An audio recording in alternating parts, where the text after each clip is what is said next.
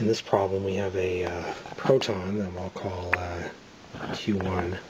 It has a charge of just plus E. And then we have an iron nucleus over here that has a charge Q2 of plus 26E. And we're told that this proton starts with some initial velocity v naught and it travels over here and gets really close to the iron nucleus, some distance r min, before it turns around, and we're told that r min it's 2.5 times 10 to the minus 16 meters. So, given that minimum distance, and then given that it starts off at some initial value of r of infinity, we got to find out what's the initial velocity of this uh, of this proton. All right, so uh, boy, you know, so just to eliminate a couple things, I can't use f equals ma here, and then use the acceleration and the initial velocity and the distance to find uh, v, or, or, you know, final velocity. I, I can't do all this, right? Because the acceleration is not constant. And so you can't use F equals ma in your equations of motion with constant acceleration. It doesn't work here.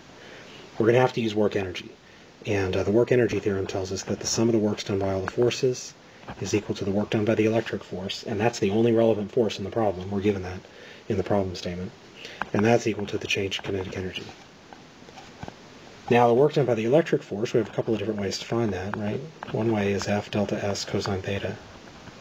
But that doesn't work here because we don't have a uh, uniform field, right? The field varies. As you get further and further away from Q2 here, the field gets weaker and weaker. So you can't use F equals, or the work equals F delta S. You instead got to use minus delta UE. but we also know from our, uh, our formula sheet that the change in electric potential energy for this charge Q1 uh, traveling through the potential delta V2 is uh, minus q delta v. So I can write minus q1 times delta v2 is equal to 1 half mv squared, final kinetic energy minus the initial kinetic energy. Right, now the final kinetic energy is zero, right? Comes to a stop here. The initial kinetic energy is something we have to solve for. And so uh, this becomes minus q1, and then we have v f minus v i is equal to minus 1 half mv naught squared. Now I'm going to go ahead and drop that minus sign. Uh, let me substitute in for VF and VI, right? So this is Q1. Now VF is K Q2 over R min. And VI is K Q2 over infinity. I'm using my formula for absolute potential of a point charge here. That's equal to 1 half mv naught squared. Now, of course, this term is 0 because infinity is so big. Alright, so I just have to, I have to plug in all my numbers for this and plug in all my numbers over here, and I solve for v naught. I know m, the mass of the proton. I know q2, I know q1, I know k, and I know r min. So it's just a simple matter of solving for v naught. Uh, if I write down the equation, I get uh, 1.6 times 10 to the minus 19. That's q1.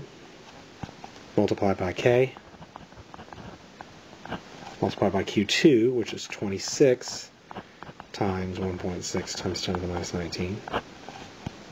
Okay, so this, this term appears twice. Right. If I were writing this in shorthand, I would say that k q1 q2 over r squared is ke squared times 26 over r Sorry, not just over. So sometimes you'll see this notation in the book in the solutions. Anyway, uh, I'm trying to be a little more thorough about this. So. Now R min is up here. That's uh, 2.5 times 10 to the minus 16. Right, now we set that equal to 1 half times 1.67 times 10 to the minus 27. That's the mass of a proton from our formula sheet. And when we solve for v naught squared, we get 2.87 times 10 to the 16th, so V naught is 1.7 times 10 to the 8th. So less than the speed of light. It's actually relativistic, uh, so this isn't a great problem, but it's close enough for government work, so we'll go with that answer.